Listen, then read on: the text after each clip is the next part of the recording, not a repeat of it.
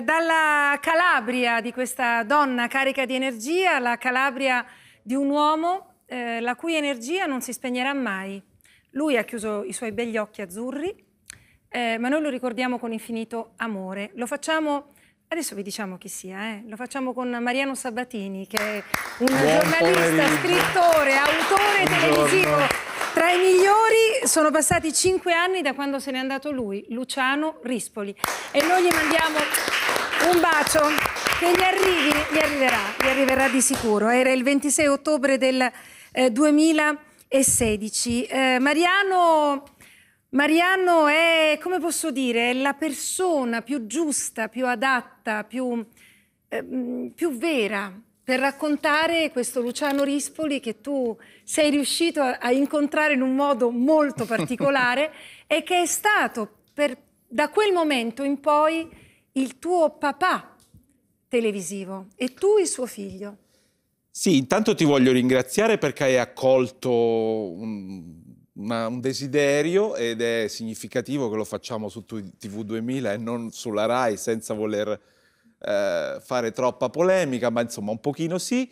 E quindi Luciano è stato un affetto ed è un affetto profondo della mia vita. Un papà, sì, io ho avuto Sì. un, un problema con la figura paterna e Luciano è stato un papà putativo, il papà che avrei desiderato, non perché il mio fosse... eh, però No. insomma intelletti- intellettualmente era quello di cui avevo bisogno e a 23 anni mi ha adottato e io ancora lo ricordo con grande oh sì, piacere. ancora lo ricorda e, e, eh, parleremo di quel quiz. Voi ve lo ricordate? Parola mia. Parleremo di tante cose di Luciano Rispoli, di come mettesse gli accenti giusti sulle parole perché questi accenti giusti arrivassero alle nostre orecchie e ci insegnassero una buona lingua attraverso la televisione. Ma era tant'altro. Luciano Rispoli, ci vediamo tra un attimo. Un attimo, un attimo, un attimo e siamo da voi. Solo un istante.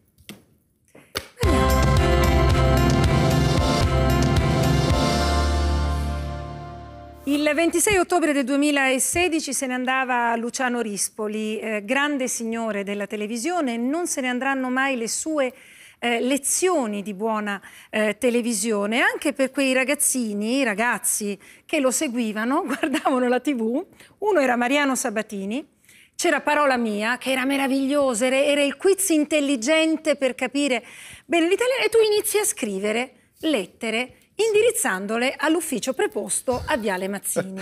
No, non succede? proprio all'ufficio preposto, a tutti i personaggi che, che secondo me potevano. Io non sapevo che all'epoca Rispoli era un alto dirigente della RAI, perché ha diretto il Dipartimento Scuola, Scuola Educazione, Educazione, ha, ha fatto assistenza a Emanuele Milano, che, che ben conosci, Certo. che era vice direttore generale della RAI. Quindi io scrivevo a Costanzo, a Marzullo, a Baudo, a Brando Giordani, all'epoca direttore di Rai 1 per dire fatelo lavorare di più, non fategli fare solo il preserale di Rai 1 che aveva milioni, di, Milioni di telespettatori, telespettatori. in un quiz che non era il quiz a risposta multipla o basato sulla fortuna, ma era sulle etimologie, i modi di dire, le belle pagine della letteratura. E io da quel momento, come generazioni di italiani, ho deciso di fare della lingua italiana il mio, il mio strumento di lavoro, tant'è vero sente. che Si conosco sente. solo quella lingua. Allora, quindi- però, succede che a un certo punto qualcuno pensa che Rispoli scriva Sì. da solo queste lettere. Sì. Gli dicono: Senti, ma c'è un matto o uno pseudonimo? Sì, sì, Tale sì. Mariano Sabatini sarà uno pseudonimo che ti sei trovato. E invece, insomma, alla fine. Soprattutto Claudio Sabelli Fioretti lo, Oh, lo prendeva no. in giro eh, e quindi io poi avevo iniziato a fare il giornalista dagli anni 80, siamo arrivati ai primi anni 90.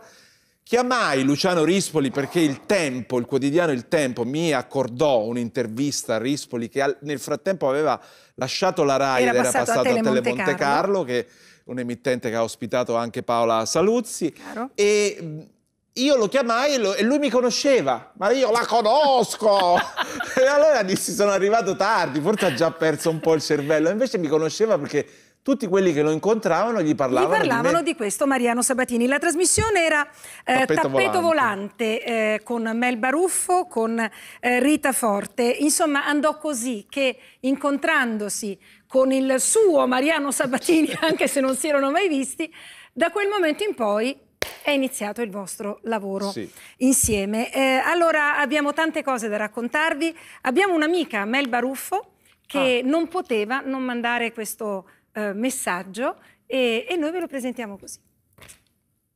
Ciao Paola, ciao Mariano Sabatini, carissimo, quello che io ho battezzato il rispologo tanto tempo fa. Grazie per aver fatto questo bellissimo articolo che ritratta in corpo, mente e anima la, il fantastico uomo che fu Luciano Rispoli, un uomo che ci insegnò a tutti a fare la bella televisione, la televisione educata, colta, intelligente, garbata, divertente. Io non avrò mai sufficienti parole per ringraziare Luciano per avermi dato l'opportunità e l'onore di essere a fianco a lui nel suo tappeto volante quando volava alto e alto, sorvolando le nuvole insieme alla carissima Rita Forte. Per me anni d'oro che rimangono sempre nel mio cuore.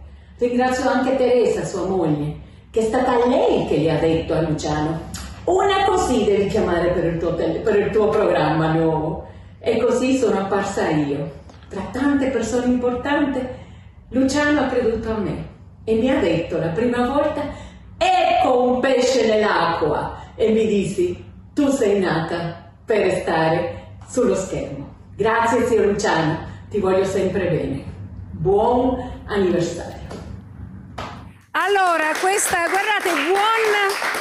Sapete, quando si dice Happy Heavenly Birthday, quando si si parla del, del, giorno in cui si è andati via come un giorno in cui si è rinati a nuova vita. Mel Baruffo con tutto il suo cuore e il suo amore. Rita Forte che verrà molto molto presto a trovarci qui in studio. Rita grazie per tutto quello che tu hai fatto e Mariano, Mariano che, eh, che ha seguito quest'uomo. Tu lavoravi, scrivevi con lui. Sapeva essere anche molto uh, rigido, rigoroso. Sì, diciamo, era un professionista inflessibile, sapeva cosa la televisione, la sua televisione doveva dare al suo pubblico e non derogava in nessun modo. Uh, quando io ho iniziato avevo 23 anni, mi ha fatto anche piangere, devo dire. Un uomo mm. a cui era impossibile imporre qualcosa eh, sembrava così sì. soave e lo era, educato, gentile, civile, la parola civile è quella che gli si attaglia sì. di più. Però l'ho visto scontrarsi con dei potenti che avrebbero voluto imporgli, non so, gli ospiti oppure vietargli il passaggio di lui alcuni ospiti. Lui si scontrava. Lui si scontrava e vinceva lui, non c'era nessuna possibilità di passare. Era, era, un uomo tenace, era un uomo, noi abbiamo anche grazie e soprattutto e solo grazie a Mariano Sabatini dei copioni che fra sì. poco vi mostreremo, ma abbiamo ancora il messaggio di una cara amica, di una eh, donna splendida che ha saputo lavorare a fianco di Luciano Rispoli nel modo migliore, come sempre. Roberta Capua, ve la presentiamo così. Sono molto felice ed onorata quest'oggi di poter parlare di Luciano Rispoli e ricordare un grande uomo di televisione. Eh, inizialmente da dirigente, poi da conduttore, certamente una figura che ha lasciato un segno profondo nella televisione. Eh, troppo poco spesso viene ricordato, quindi grazie, grazie eh, per avermi dato l'opportunità di farmi tornare alla mente quei due anni trascorsi accanto a lui sul divano del tappeto volante su Tele Carlo, due anni che mi hanno insegnato tantissimo, tantissimo del mio lavoro, che mi hanno reso la persona che sono, la professionista eh, che sono, il suo modo di essere, il suo modo di intervistare ha segnato in maniera eh, decisiva tutto quello che lavorativamente è venuto per me dopo quell'esperienza. Sono stati due anni di crescita, sono stati due anni mh, di palestra in qualche modo, in cui lui eh, è stato il mio mentore e E quindi grazie, non posso che dire sempre grazie, grazie, grazie Luciano. È così, ci uniamo anche noi, eccola qua, la vediamo questa fotografia. Allora, eh, io chiedo al nostro regista, al nostro Alessandro Tresa, di poter inquadrare, spero di tenerlo nel modo migliore, questo, eh, questo piccolo copione eh, dove Rispoli segnava eh, addirittura giustamente, non so a quale camera, ecco qua, dove, dove mostrarlo, eh, dove eh, Rispoli segnava gli accenti. Sì, questo lo faceva Guardate sempre. bene, ecco, sono segnati gli accenti con una precisione, con una attenzione, perché nessuna parola andasse sciupata. Questo era il grande professionista Luciano Rispoli, che eh, fece lavorare eh, personaggi strepitosi della televisione eh, come Raffaella Carrà.